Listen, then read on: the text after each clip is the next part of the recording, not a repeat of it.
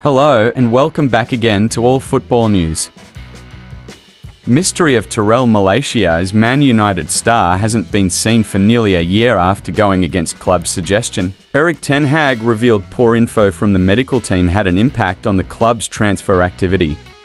But before we go into the video, please be sure to leave your comment of what you think about Malacia injury and how this club will go further. Thank you. Now let's get into the mystery. Tyrell Malacia has gone missing since undergoing knee meniscus surgery nearly a year ago. The Dutch left back, 24, has not featured for the Red Devils since last season, while his most recent match came for the Netherlands against Croatia in the Nations League back in June. Experiencing discomfort in his knee, he decided to have surgery during PRE season and did not travel with the rest of Erik Ten Hag's squad to the AS in July, but after some light training in front of the media three months later, a scan revealed fragments of the cartilage remained around the meniscus.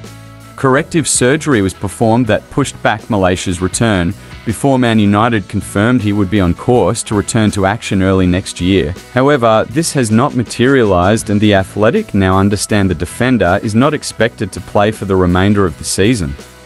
It is a frustrating situation for Ten Hag, who has been without a recognised left back for 22 of Man United's 43 games this season, with Luke Shaw also suffering injury issues, Third choice Sergio Reguilon saw his loan terminated in January, with Ten Hag insisting last month he had done so because the medical team told him both Malacia and Shaw would be returning.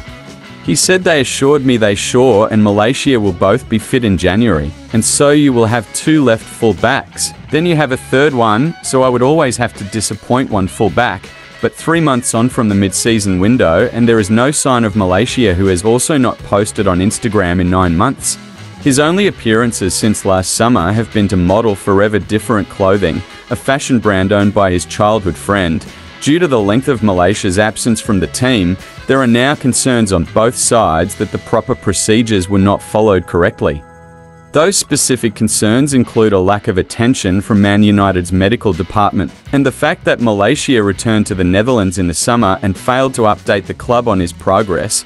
Individuals close to the player claim this was because he did not do any rehabilitation work in the summer as he was still on crutches following the surgery.